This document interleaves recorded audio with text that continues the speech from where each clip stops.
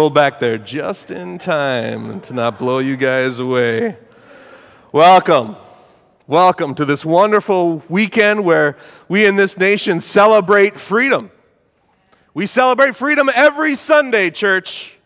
Every Sunday, our freedom in Christ laid down his life for us. Oh, it's wonderful to celebrate freedom. It's wonderful. Everything that it means for us, everything that it follows for us, it is wonderful to celebrate together. Where's your joy? Where's your joy?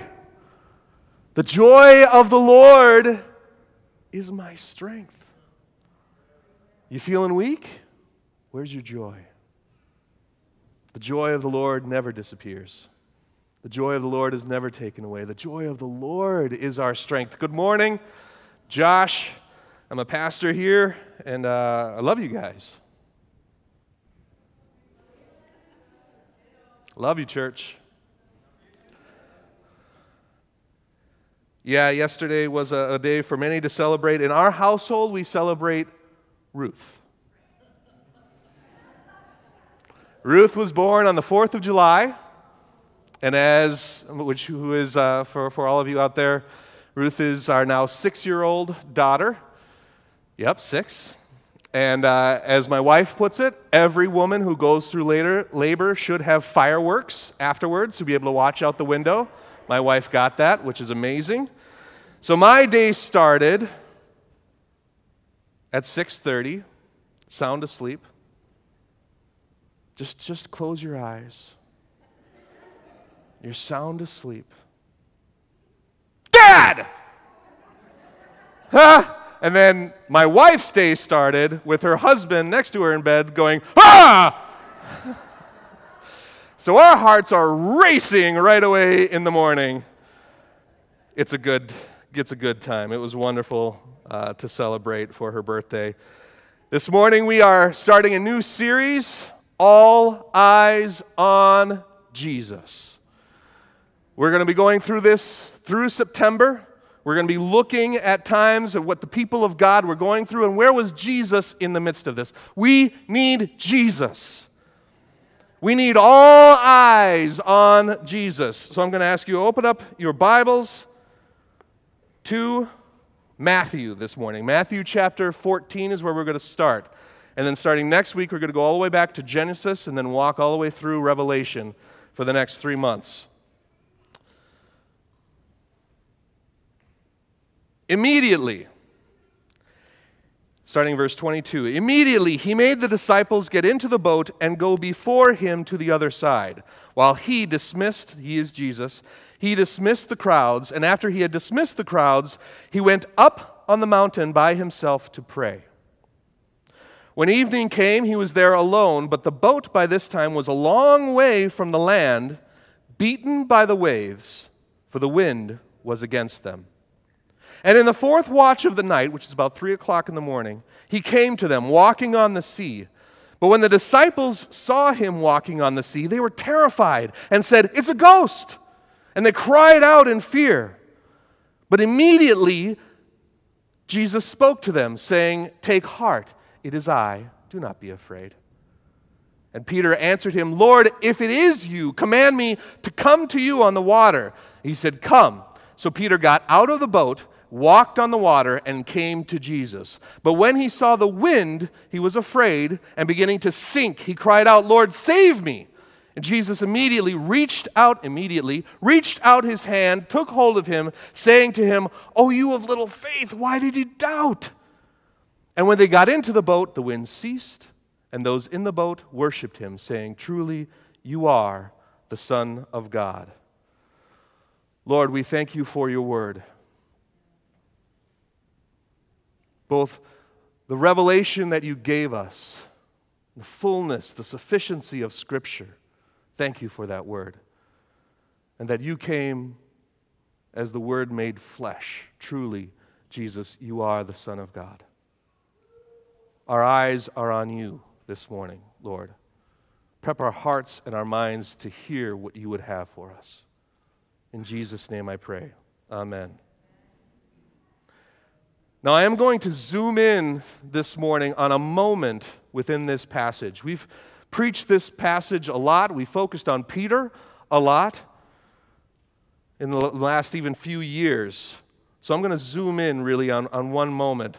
But let's set this context here. Jesus is about his ministry, and you saw him dismissing the crowds and sending his disciples ahead of him in the boat, which is good to know.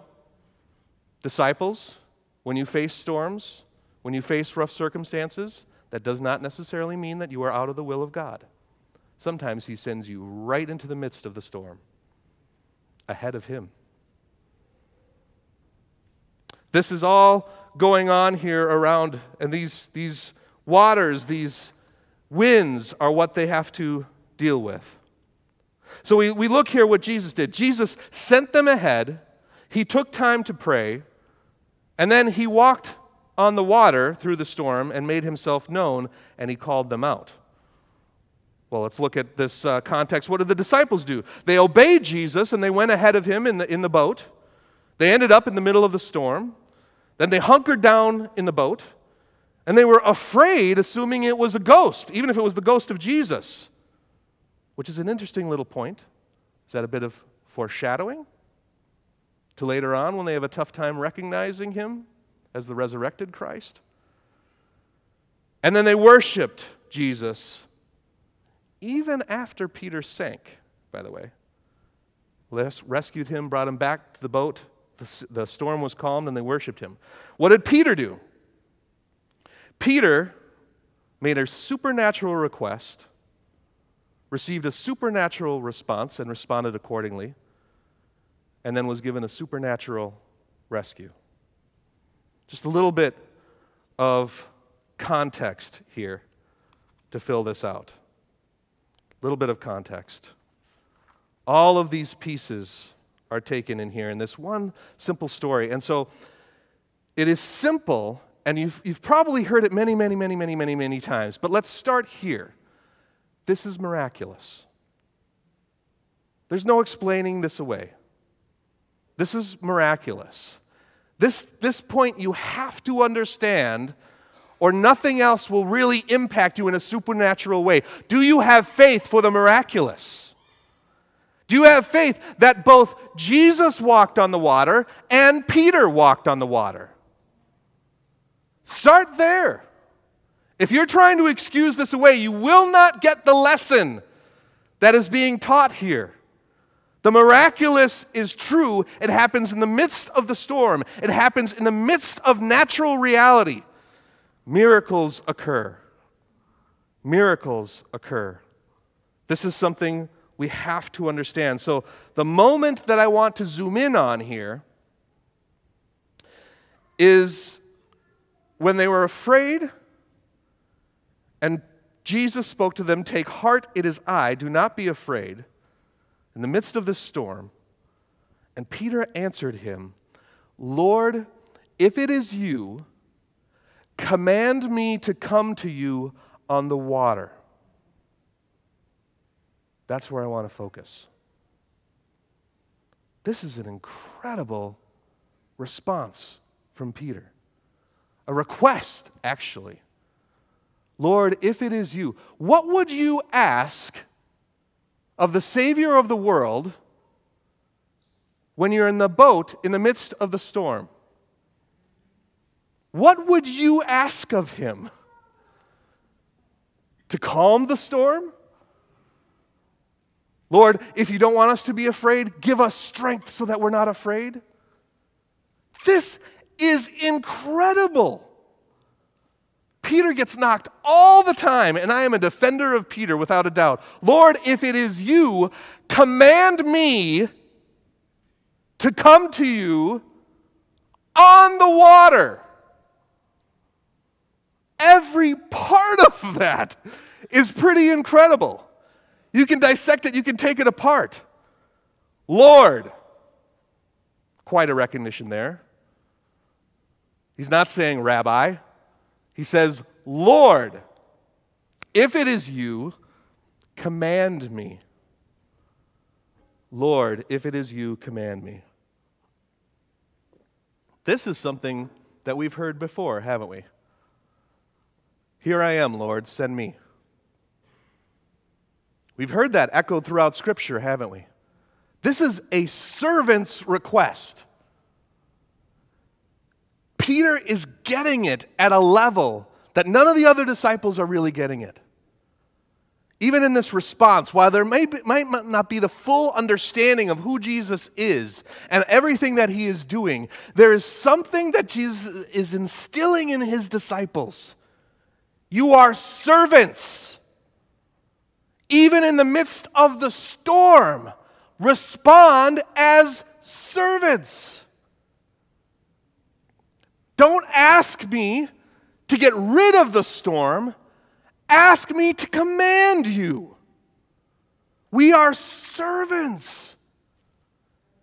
We are the servant of the Lord. There's a burden that has been placed upon us to minister in the midst of the storm. Our eternity is secure minister in the midst of the storm. Lord, if it is you, all eyes on Jesus, church. If all of our eyes are on Jesus in the midst of the wind and the waves, Lord, if it is you, command me. Command me. Lord, if it is you, command me to come to you on the water. Yes, his disciples are facing a difficult situation doesn't mean he didn't send them. They are sent into the midst of it. Jesus trains disciples to not only believe, not just talk about his way, but practice it through a supernatural walk. That supernatural walk, that's what demonstrates his authority. Do we demonstrate his authority? Even the word that is used here in Scripture on that come to you on the water. In the ESV, it says on. You might have upon the water. There's this word there. In the Greek, it's epi. It can mean to. It most often means upon. It can mean against. It can mean above. It is this word whose usage is specifically determined by the context. It expresses motion Lord, if it is you, command me to move. The boat is safe. The boat is comfortable.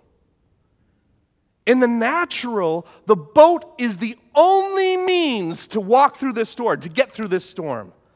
And, and Peter, seeing this, what could be a ghost, says, Lord, if it is you, command me to come to you on the water.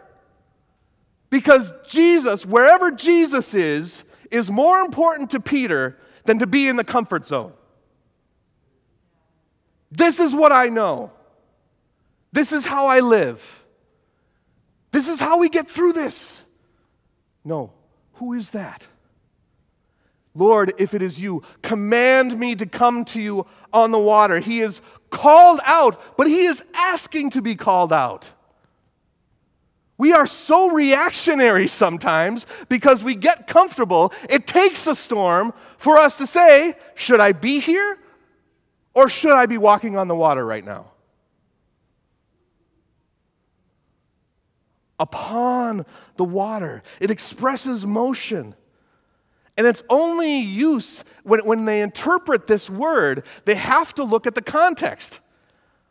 All of you interns right there, right, right out here what is the number one rule for interpreting the Bible? Context. Amen. It's a well learned church. Amen. Context. This word, even, is completely dependent upon what comes around it on the water. Not through the water, not in the water. None of those are good definitions for this word, good usages. On the water the necessary response to what we come in contact with, what we have to traverse. Lord, if it is you, command me, and I will come to you on the water. No, command me to come to you on the water. He's asking for the command to do something supernatural. How you feeling, church? Are you asking for the command to do something supernatural? Peter is incredible. The fact that he steps out of the boat and doesn't dive into the water is incredible. We've talked about that. I'm focusing on this moment. I said that I was going to do that.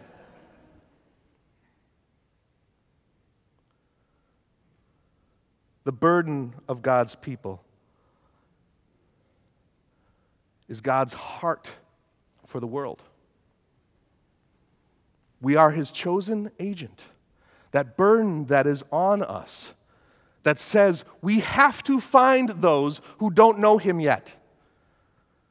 We have to build a community around one voice that expresses the kingdom, this burden for God's people. God will draw you out of your comfort zone.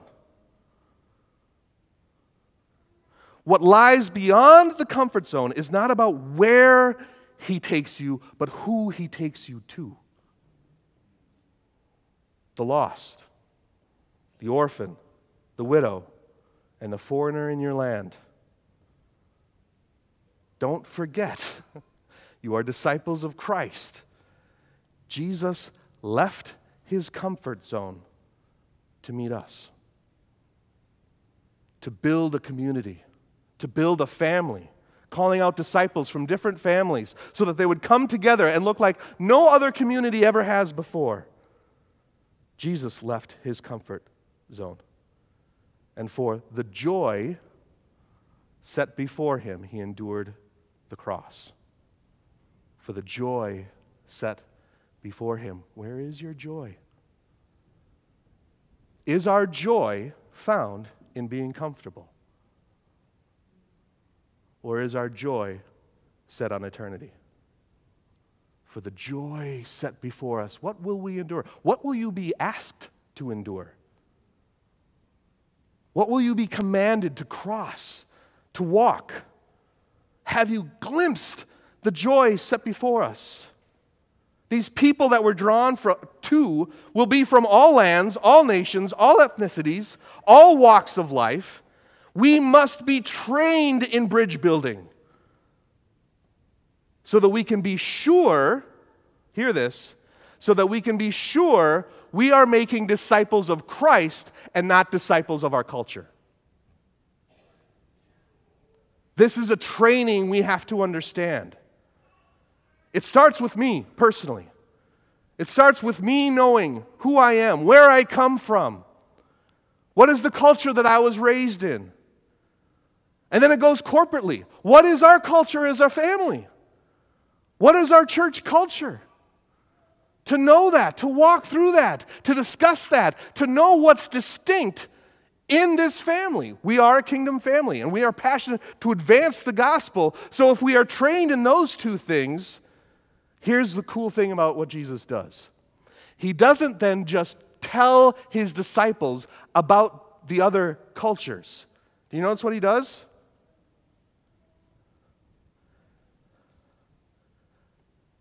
I I, I, I'm going to say it this way My mom got it. He sends us so that we go in humility as servants of the living God to learn from, to minister to, just like He did.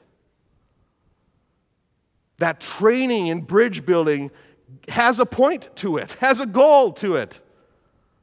We have to be trained so that we are not making disciples of our culture.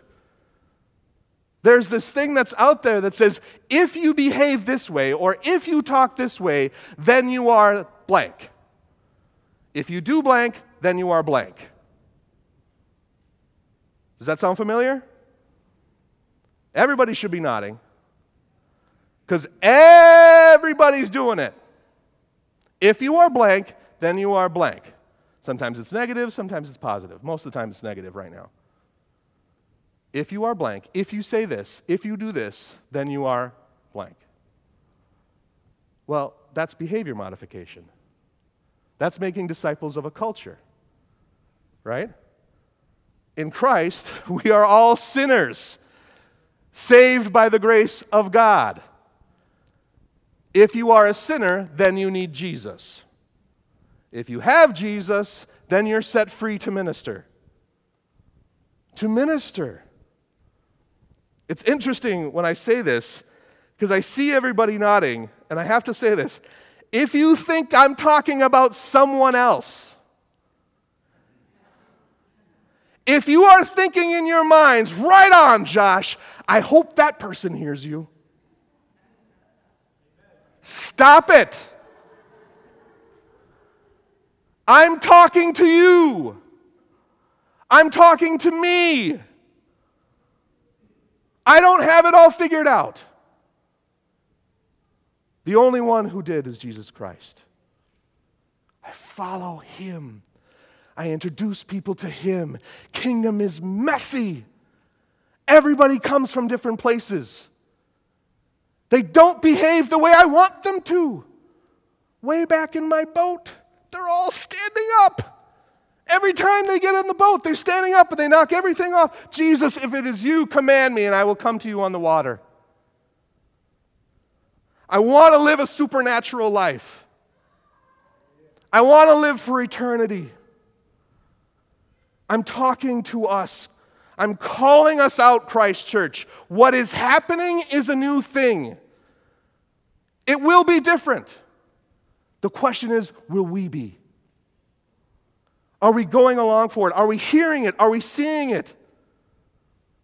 Will we allow ourselves to be reformed so we can be a community of irresistible influence and through us, God's chosen agent we will transform the world if we allow ourselves to be reformed so that we can be a transforming, transformed community. Are we culture enforcers or freedom fighters?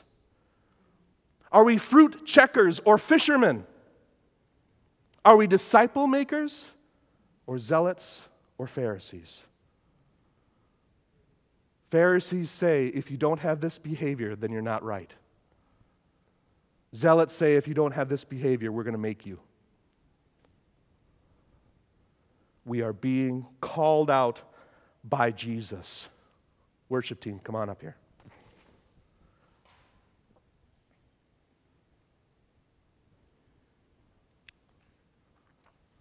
Lord, if it is you, Command me to come to you on the water.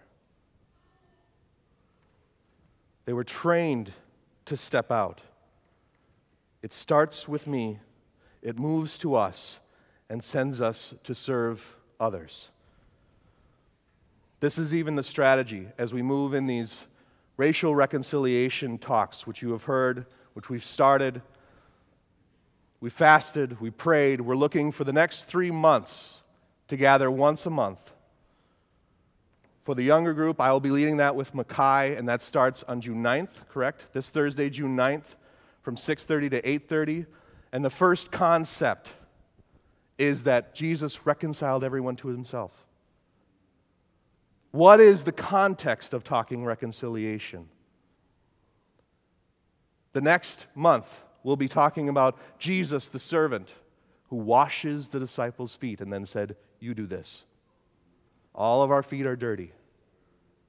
We wash one another's feet. And then the third month, we will be sent out. These are mission teams in training, these groups. God is calling us to a new thing. I'm seeing it among the churches that we relate to right here in the Twin Cities. We are growing into a family of churches to be able to minister together to impact the Twin Cities in Minnesota in a way we never have before. Lord, if it's you, command me, and I will come to you on the water. Calling us out to step into the supernatural. Step into the supernatural. We need to be in the Word. We need to be reading the Word of God. Let me ask you something. In a given year, Do you read more books about the Bible or more books of the Bible? We need to know the voice of God. So that when we ask, as a good servant, Lord, if it's you, command me and I will come to you on the water, we recognize the voice. His voice and nobody else's.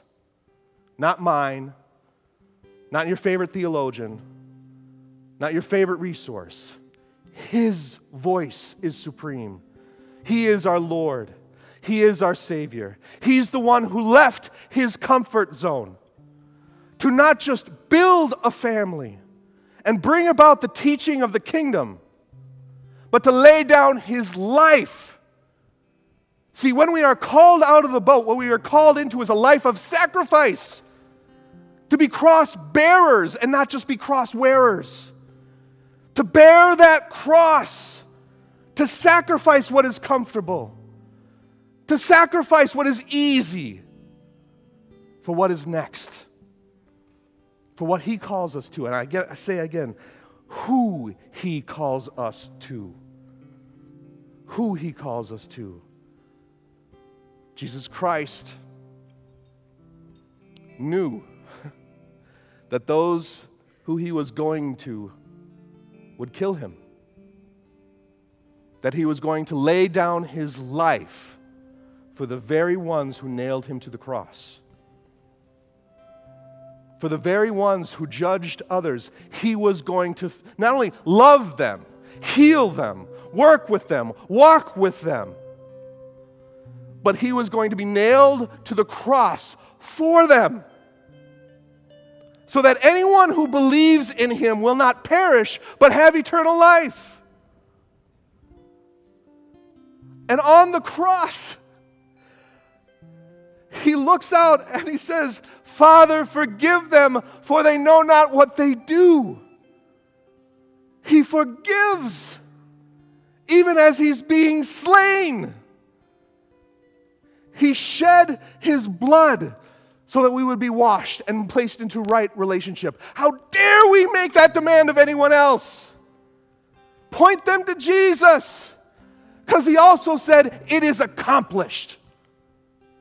The work of righteousness is accomplished on the cross. His body was broken so that we could become one body, His body, His hands and feet, working in this world for the restoration of all things to bring all nations together into one new humanity so that the world will know that the gospel is true, that we are his disciples by the way we love one another. This is the way he loved us. And he reminded us, and we're reminded again throughout the New Testament whenever you gather together, do this in remembrance of me. Take the blood, take the cup in remembrance of what Jesus did. That is the reason we have been set free. What he has accomplished is why we have been set free. Lord, thank you for your word. Thank you for your sacrifice. Lord Jesus, if it is you, command us, and we will come to you on the water. We want to hear your voice, Lord. We need you in the midst of this storm. The winds are against us, Lord. We've been battered by the waves. Lord, if it is you, command us, and we will come to you on the water. Lord Jesus, thank you for your sacrifice on the cross.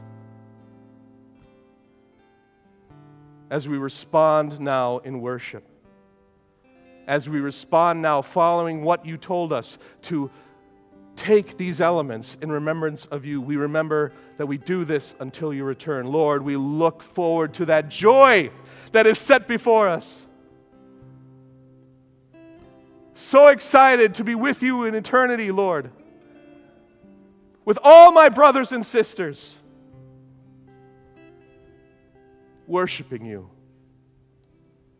So, Lord, now receive these praises. Receive these praises. May you be glorified this morning as we worship you in Jesus Christ. In your mighty name, I pray. Amen. Amen.